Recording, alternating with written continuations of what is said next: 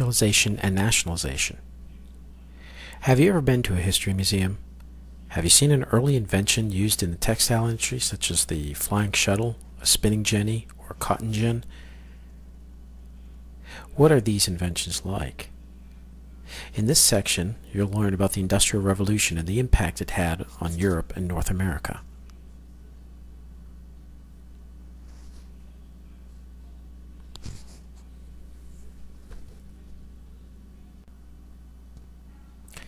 The Industrial Revolution began in Great Britain in the 1780s.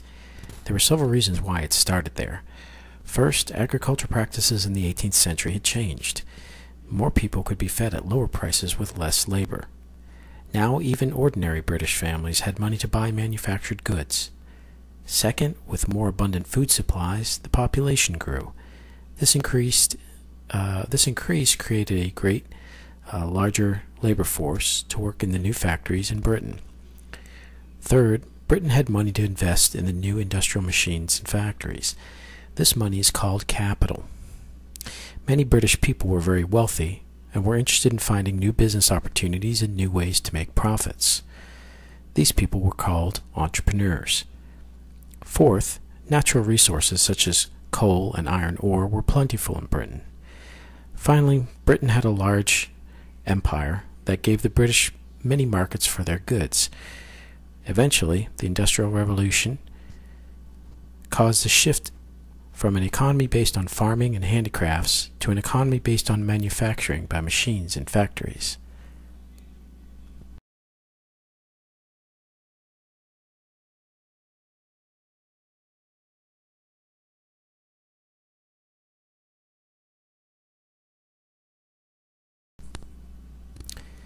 One of the main industries in Great Britain was the production of inexpensive cotton goods. There were two steps in the manufacture of cotton cloth spinning, or making thread, and weaving, turning the thread into cloth. Originally, the work was done by individuals in their rural homes. This production method is known as cottage industry. Advantages in technology make cottage industry inefficient, however. The invention of the flying shuttle made weaving faster. Weavers now needed more thread from spinners. By 1768, Charles James Hargreaves had invented a spinning machine called the spinning jenny, which made the spinning process faster. In fact, thread was being produced faster than weavers could use it. By 1787, Edmund Cartwright had invented a water-powered loom that made it possible for the weaving of cloth to catch up with the spinning of thread. It now became more efficient to do the work in factories, which were, were located near streams and rivers.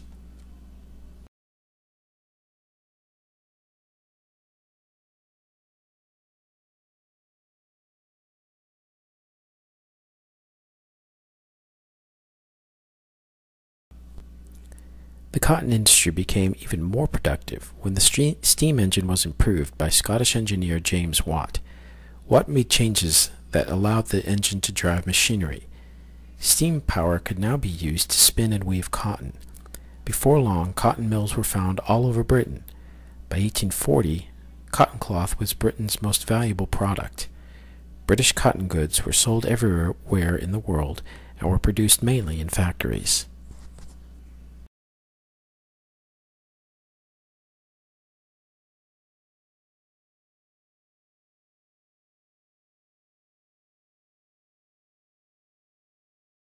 The steam engine was critical to Britain's industrial revolution.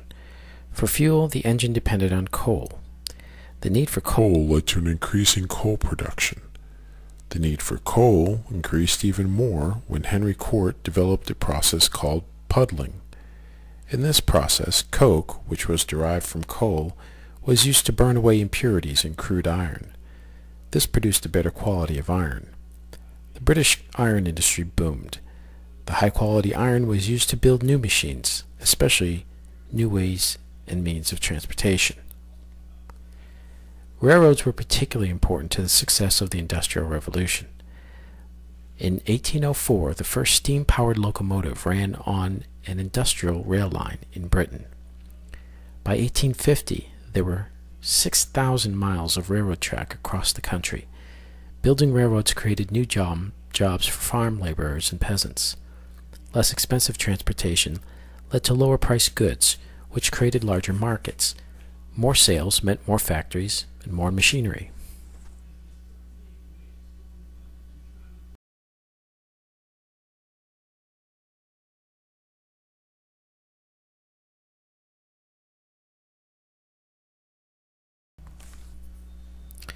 Factories created new labor systems. Factory owners wanted to use their new machines constantly. As a result, workers were forced to work in shifts to keep the machines running all day. Factory owners created a system in which employees became used to working set hours and doing the same work over and over. Adult workers were fined or fired for being late or for other misconduct. Child workers were often beaten.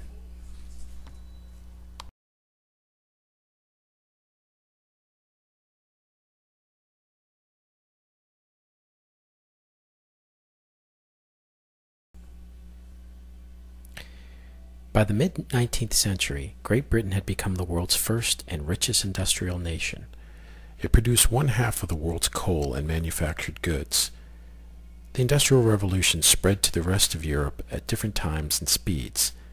The first countries to be industrialized in continental Europe were Belgium, France, and the German states.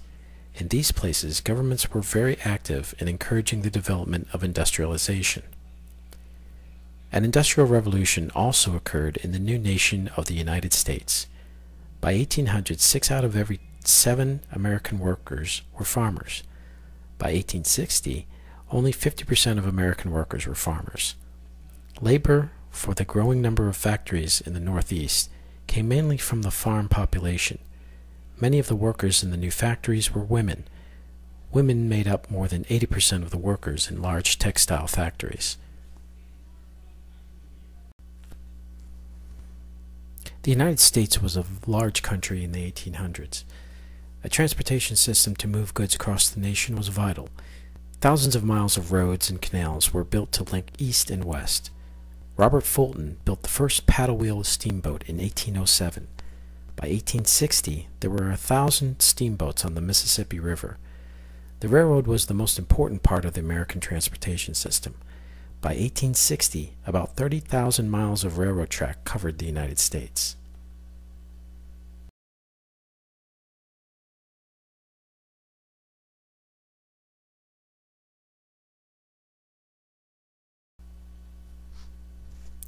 Social impact in Europe. The Industrial Revolution drastically changed the social life of Europe and the world. By 1850, the population of Europe had almost doubled to 266 million. The key to this growth was a decline in death rates, wars, and diseases. Because of an increase in the food supply, more people were better fed and resistant to diseases. Famine disappeared from most of Western Europe.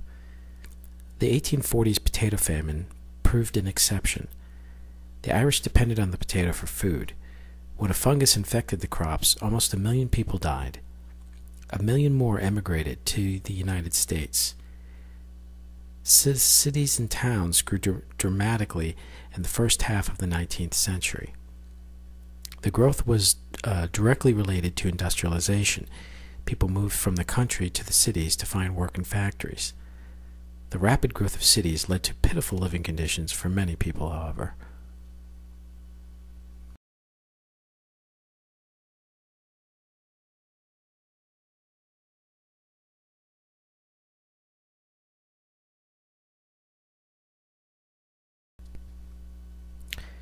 With the Industrial Revolution came the rise of industrial capitalism, an economic system based on industrial production. Industrial capitalism produced a new middle class group, the industrial middle class. The new industrial middle class was made up of the people who built the factories, bought the machines, and figured out where the markets were. Their qualities included initiative, vision, ambition, and often greed.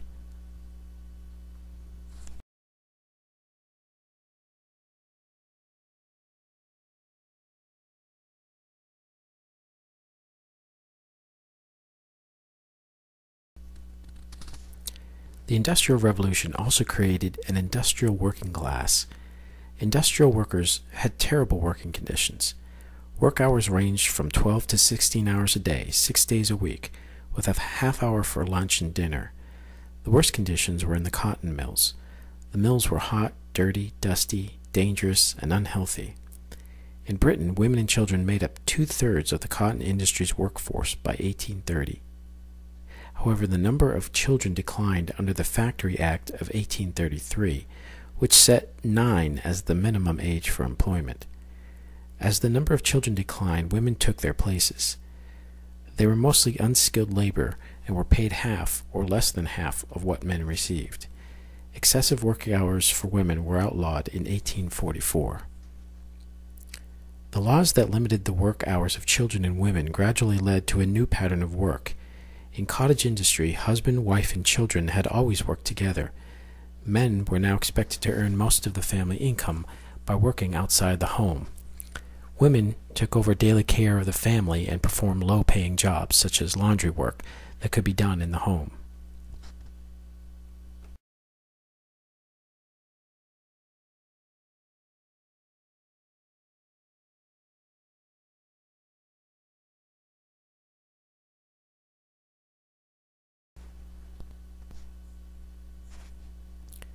In the first half of the 19th century, the pitiful conditions created by the Industrial Revolution gave rise to a movement known as socialism.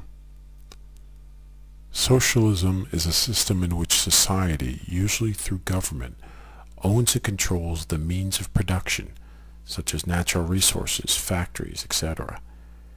Early socialism was primarily the idea of intellectuals who believed in the equality of all people and who wanted to replace competition with cooperation in industry.